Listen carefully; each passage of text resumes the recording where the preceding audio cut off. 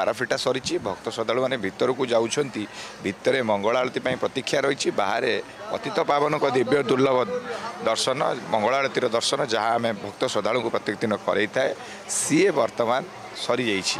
କିନ୍ତୁ ଗୋଟିଏ ପଟରେ ଆମେ ଯଦି ଦେଖିବା ଭକ୍ତ ଶ୍ରଦ୍ଧାଳୁଙ୍କର ଯେଉଁ ସୁଅ ଛୁଟିଥାଏ ଯେଉଁ ଭିଡ଼ ଛୁଟିଥାଏ ସିଏ ବଳବତ୍ତର ରହିଛି ଏବଂ ସମୟ ବଢ଼ିବା ସହିତ ଇଏ ଭିଡ଼ ମଧ୍ୟ ବଢ଼ିଥାଏ। ଆମେ ଅନେକ ସମୟରେ ପରିଲକ୍ଷିତ କରିଥାଏ ଏବଂ ଆ, ଯେତେବେଳେ ମଙ୍ଗଳ ଆଳତୀର ଅପେକ୍ଷା ରହିଛି ସମସ୍ତଙ୍କର ଭିତରେ ଚତୁର୍ଦ୍ଧା ମୂର୍ତ୍ତିଙ୍କୁ ମଙ୍ଗଳ ଆଳତୀ ହେବ ମଙ୍ଗଳ ଆଳତୀ ପାଇଁ ପ୍ରସ୍ତୁତି ଚାଲିଛି ଏବଂ ଯେତେବେଳେ ମଙ୍ଗଳ ଆଳତୀ ଅର୍ପଣ ହେବ ନିହାତି ପକ୍ଷରେ ଭକ୍ତ ଶ୍ରଦ୍ଧାଳୁମାନେ ତାକୁ ଦେଖିବେ ପର୍ଯ୍ୟାୟ ପରେ ପର୍ଯ୍ୟାୟ ଭିତରକୁ ଯାଉଛନ୍ତି ଭକ୍ତମାନେ ଶ୍ରଦ୍ଧାଳୁମାନେ।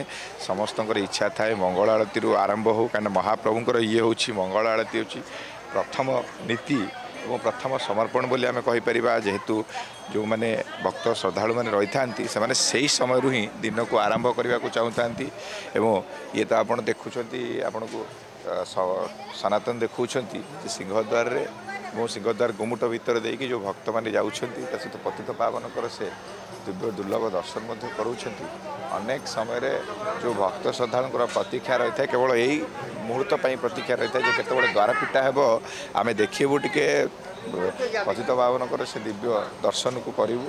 ଏବଂ ଆପଣମାନେ ମଧ୍ୟ ଅନେକ ସଂଖ୍ୟାରେ ଯୋଡ଼ି ହେଇକି ରହିଥାନ୍ତି ଆ, ଯେଉଁ କ୍ୟାମେରା ଏ, କ୍ଷମା କରିବେ ଟି ଭି ସ୍କ୍ରିନ୍ରେ କେବଳ ଏହି ସମୟକୁ ଦେଖିବା ପାଇଁକି। ଏବଂ ଏଠି ଆ, ମଧ୍ୟ ଅନୁରୋଧ କରିବି ସନାତନକୁ ଯେହେତୁ ଅରୁଣ ସ୍ତମ୍ଭରେ ପ୍ରଥମ ପ୍ରଣିପାତ ଭକ୍ତମାନେ ଦେଇଥାନ୍ତି ଟିକେ ଅରୁଣ ସ୍ତମ୍ଭ ପାଖକୁ ମଧ୍ୟ ଯିବା ପର୍ଯ୍ୟାୟ ପରେ ପର୍ଯ୍ୟାୟକ୍ରମେ ଏବଂ ସେଠି ମଧ୍ୟ ପ୍ରଥମ ପ୍ରଣିପାତ ରହିଛି ଭକ୍ତ ଶ୍ରଦ୍ଧାଳୁଙ୍କର ଏବଂ ଅନ୍ୟପଟରେ ଭକ୍ତଙ୍କର ମଧ୍ୟ ଟିକେ ପ୍ରତିକ୍ରିୟା ନେବା। ଜି ତାହା ସେ ଆଇଥିଲେ? ଓଡ଼ିଶାରୁ ଆପଣ? ଓଡ଼ିଆ ବୁଝନ୍ତି? ହଁ ଓଡ଼ିଆ। ତ କେମିତି କ'ଣ ମହାପ୍ରଭୁଙ୍କ ପାଖକୁ ସକାଳୁ ସକାଳୁ ଯିବେ ଦର୍ଶନ କରିବାକୁ? ମହାପ୍ରଭୁଙ୍କର ଆଶୀର୍ବାଦ ଅଛି। ଆମେ ଆସିଥିଲୁ ଆରଥର ଯାଇପାରିନଥିଲୁ। ଏଥର ମହାପ୍ରଭୁଙ୍କର ଦର୍ଶନ ଅଛି। ମହାପ୍ରଭୁଙ୍କ ଭାଗ୍ୟରେ ଅଛି ଆସିକି ଦର୍ଶନ କରି ଯାଇପାରିଲୁ।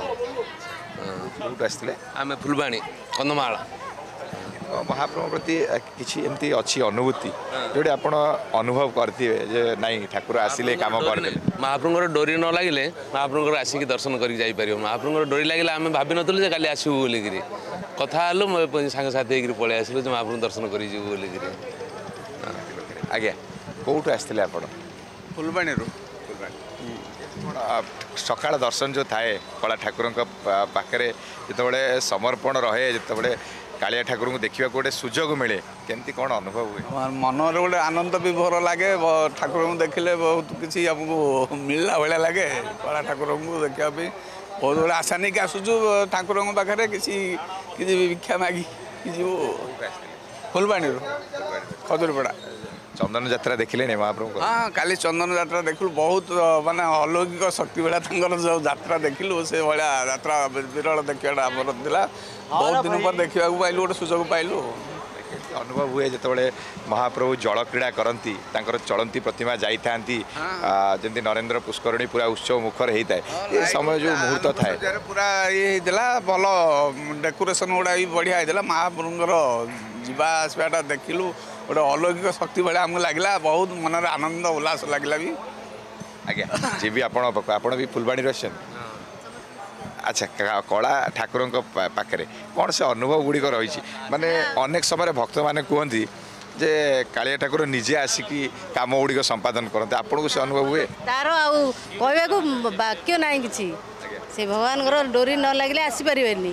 ତାର ଇଚ୍ଛା ନଥିଲେ ବି ତମେ ବାଧ୍ୟ ଝିକି ହେଇକି ପଳେଇ ଆସିବ ହେଲା। ତାଙ୍କ ଇଚ୍ଛା ଭଗବାନଙ୍କର ଦୟା କୃପା ନଥିଲେ କିଛି ହବନି। ହଁ ଦର୍ଶନ କରୁଛୁ। ହଁ।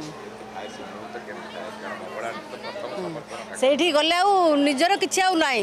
ସେଇଟା ଭଗବାନଙ୍କ ଇଏରେ ସେ ଭିତରକୁ ଯିବ କେମିତି ଦର୍ଶନ କରିବ ଆସିବ ସେତିକି। ଆଉ କ'ଣ ମାଗିବାକୁ ବା- ଭାବିକି ଯାଇଥିବ ଯେ କ'ଣ କ'ଣ ମାଗିକି କ'ଣ କରିବୁ। ସେ ଜିନିଷ ଆଉ ମାଗିବାକୁ ବି ମନରେ ଆସୁନି।